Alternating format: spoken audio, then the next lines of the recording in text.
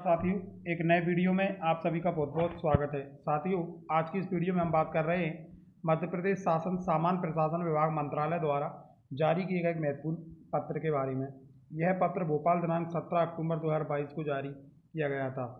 यह पत्र विभिन्न विभागों के सचिव को जारी किया गया था, जो कि मध्य प्रदेश के शासकीय सेवकों को उनके सेवाकाल में पात्रता अनुसार पदोन्नति के अवसर उपलब्ध कराने हेतु प्रस्तावित नियमों पर विचार हेतु एक मंत्री समूह की जो बैठक आयोजित की जानी है, उसके संबंध में जारी किया गया था, जिसमें कि संबंधित मंत्रियों को उपस्थित रहने के निर्देश दिए गए थे। और जो बैठक है, वह अठारह अक्टूबर 2022 को ग्यारह तीस बजे माननीय गृह मंत्री जी के बल्लभ भवन एन टू स्थित प्रतिकक्ष क्रमांक तीन ज़ीरो चार में आयोजित की गई की जानी थी तो साथियों, जो खबर निकल कर आई है, उसमें जब ये बैठक हुई है तो उसमें काफ़ी पॉजिटिव रिज़ल्ट देखने को मिले हैं।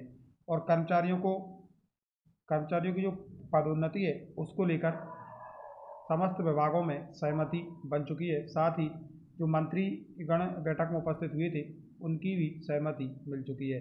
जल्दी इसके विस्तृत दिशा निर्देश जारी होंगे और मध्य प्रदेश के समस्त शासकीय कर्मचारी जो पदोन्नति की राय जोड़ रहे हैं, संभवतः उन्हें अब पदोन्नति मिल पाएगी।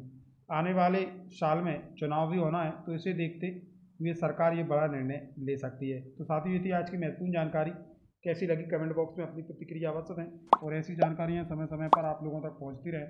इसके लिए आप हमारे चैनल को सब्सक्राइब ज़रूर कर लें। बहुत बहुत धन्यवाद